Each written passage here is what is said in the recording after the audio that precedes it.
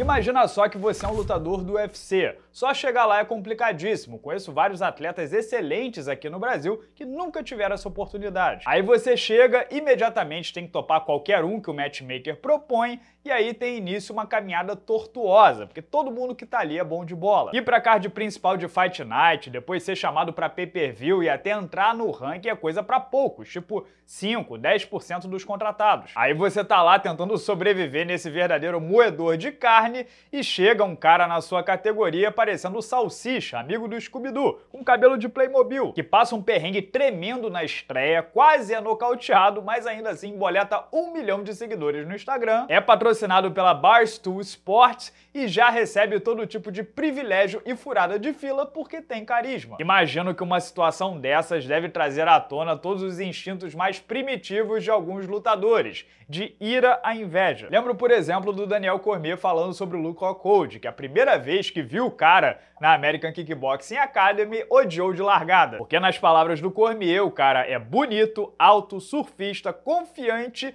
e muito bom lutador. Equilibrava alguns treinos com ele, que dedicou a vida inteira à luta. Sendo assim, Daniel define o seu amigo Rock Hold como o cara mais fácil de ser odiado do mundo. Pede então, como McGregor no início da caminhada, ficou com alvo nas costas. E esse é o ônus de tanta atenção. Começa uma caçada humana. Daí pra frente, dezenas e dezenas de lutadores tiraram o cara, desafiaram, chamaram de Barbie, charlatão, dinheiro fácil, por aí vai. Aí o cara naturalmente também cria uma casca, fica defensivo, hostil para com os colegas de profissão que não receberam tão bem. Nessa equação ainda entram os fãs, aqueles que provocam um marcando o outro e manufaturam todo tipo de conflito. Foi assim que começou a treta do Pimblet, inglês, que faz a terceira luta mais importante do Fight Night de Londres nesse sábado contra o Casula Vargas, com o Ilir Topuria, espanhol invicto que estreia no peso leve, abrindo o card preliminar contra o Jay Herbert. Na real, Guran Kuteladze, melhor amigo de Hansa Kimaev, né, treina lá na Suécia, foi um dos primeiros, se não o primeiro,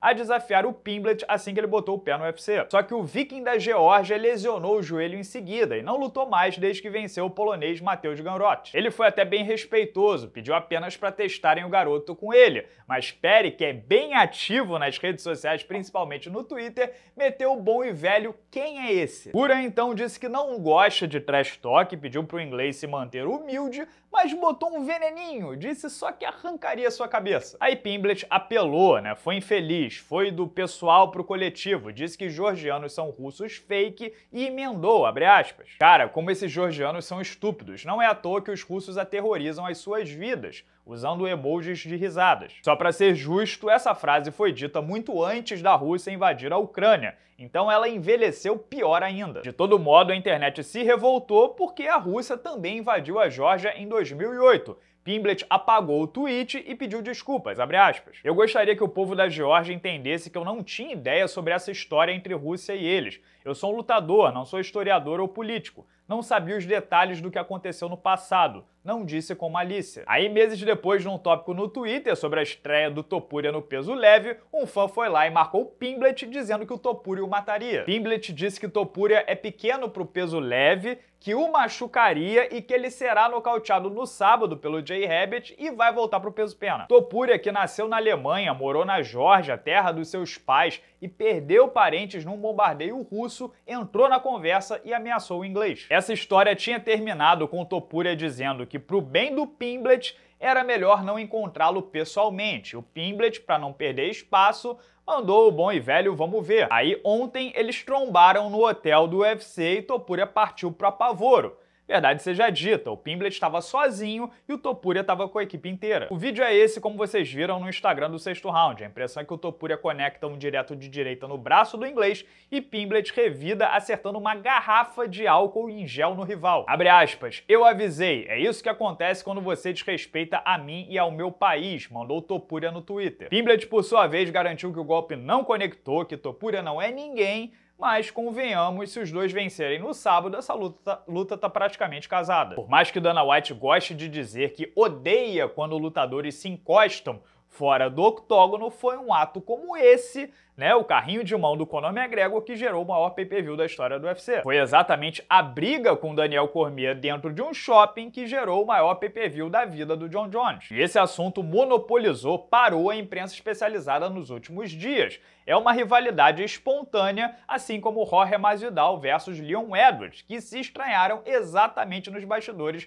de um UFC Londres. Para fechar, engana-se quem achou que essa foi a única treta pré-evento. Mohamed Mokaev, campeão mundial amador de MMA que estreia no UFC esse sábado, quase saiu no pau dentro de um elevador com o adversário de sábado, o americano Cody Durden. Para quem não lembra, Durden venceu o chinês Kileng Aori em novembro e pós-luta, no microfone, mandou que queria mandar o Aori de volta para a China, de onde ele veio. Okaev classificou o comentário como xenofóbico, pediu para que sua estreia fosse contra o Durden e foi prontamente atendido. Olha como o UFC odeia uma treta. Aí quando o elevador parou no andar do Durden e Mokaev e sua equipe estavam dentro, o americano ouviu o seguinte, abre aspas, você ainda tá vivo? Fique em contato com a embaixada americana para eles te tirarem daqui o mais rápido possível depois da luta. O americano ameaçou invadir o elevador, mas foi contido. Depois, na coletiva de imprensa, disse que a história não foi bem essa, que ele não ouviu tanto desaforo. Enfim, momento muito tenso no mundo, sendo refletido não apenas nas redes sociais,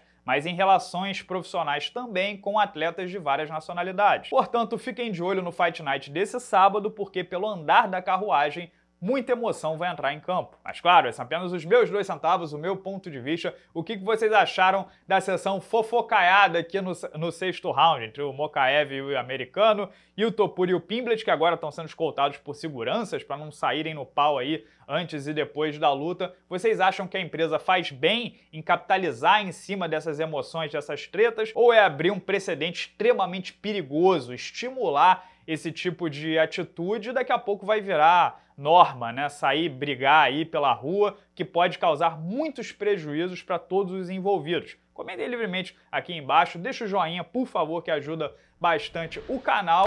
É, se você quiser ajudar ainda mais, é só clicar no botão azul Seja Membro aqui embaixo. Amanhã vai ter vídeo exclusivo para os membros ou na sexta-feira de manhã eu vou falar sobre o processo de monetização aqui do sexto round. E não percam também a minha resenha de ontem, que eu falei sobre a possibilidade do UFC acelerar muito o Alex Pereira Poatan, ele já ser embalado com um top 5. É só clicar no vídeo aqui do lado. Grande abraço a todos, muito obrigado pela audiência de sempre e até o próximo.